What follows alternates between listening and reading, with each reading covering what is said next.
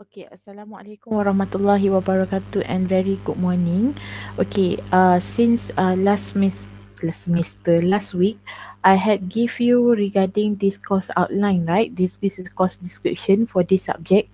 Uh, for your information student, actually this is the first time this uh, course is offered to you to replace the entrepreneurial business planning.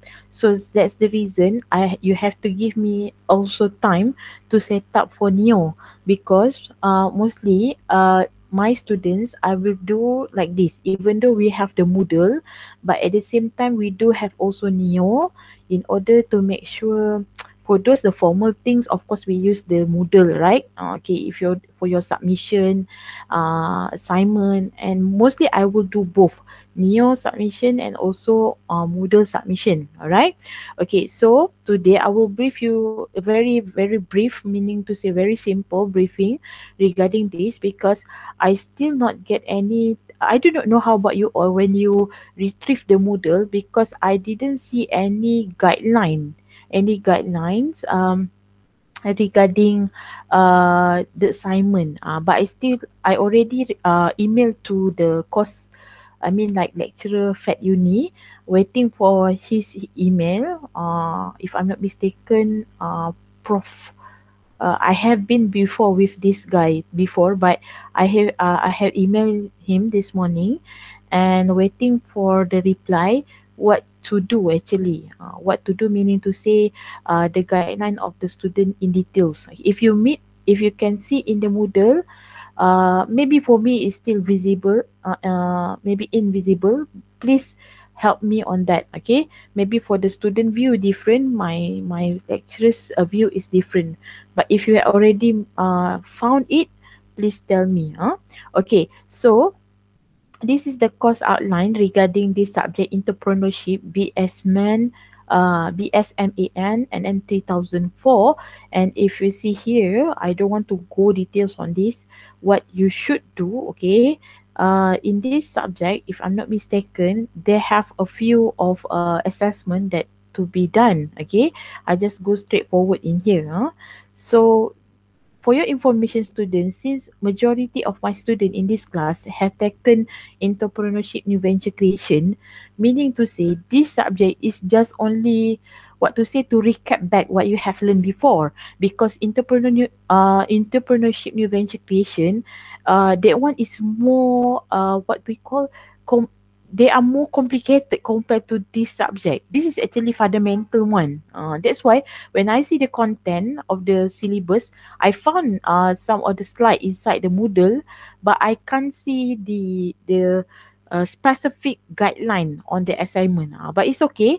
Uh, I will waiting for prof uh, to reply on my email because I want to make sure whatever that we done uh, for this semester, especially this three assessment if you can see in here. We have individual research assignment.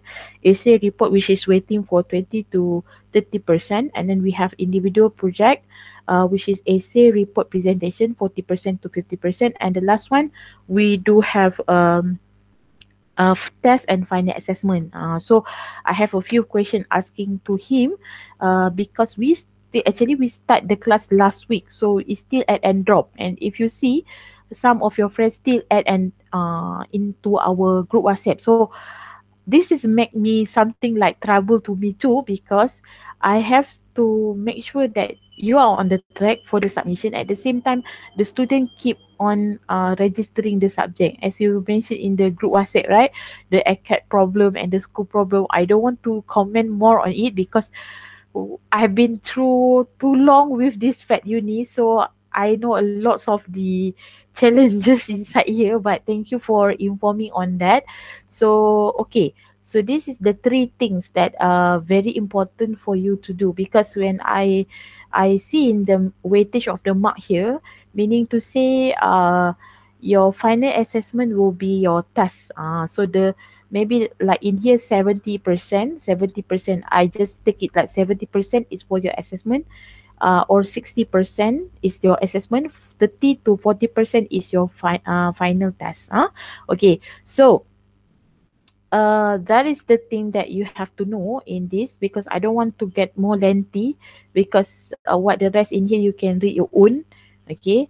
And actually this is a fundamental yang asas. Uh, uh, yeah, forgive me because I translate a little bit for the student local. Okay, this is actually the fundamental and the basic one before you go for entrepreneurship new venture creation. But you have took new entrepreneurship new venture creation before you take this subject. So meaning to say you should be score on this. Okay, all right. So that's it for me for the introductions. I don't want to go deeper because I want to go for my lecture. Uh, I will I will appreciate more on record lecture because I will put into the new.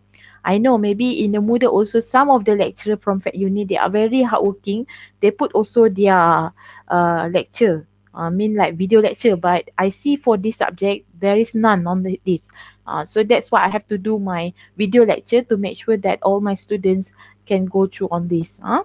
Okay, thank you so much for listening up on this. Uh, make sure you register on the right course code. But I think that academic ACAD is still not changed the name uh, because I've been told that entrepreneur business planning is not been offered this semester.